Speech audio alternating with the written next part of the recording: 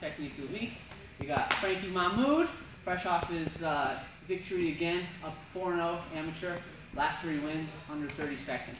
Okay, so we're going to show a grappling technique today.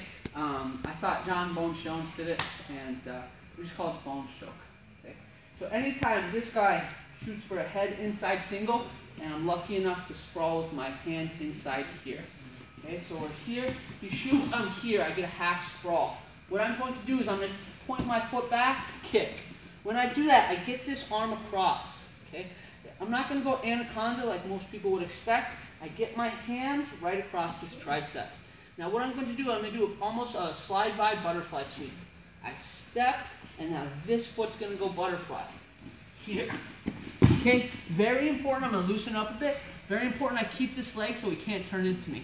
The grip that finishes the choke is this arm's across here. Now instead of pulling the arm, I puff my chest out and it chokes right here. Okay?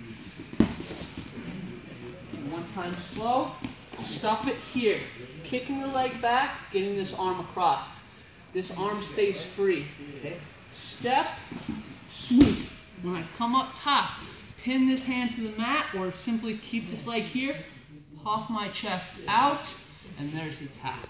One more time, different angle. You okay? Yep. He comes in here, stuffing it, getting my underhook.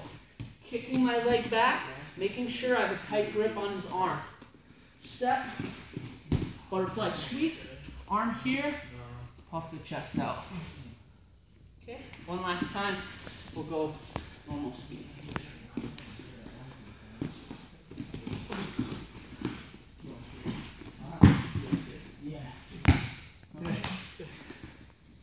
All right. Thanks again for watching Technique Week. And congrats to Frankie. Catch you, catch you next time.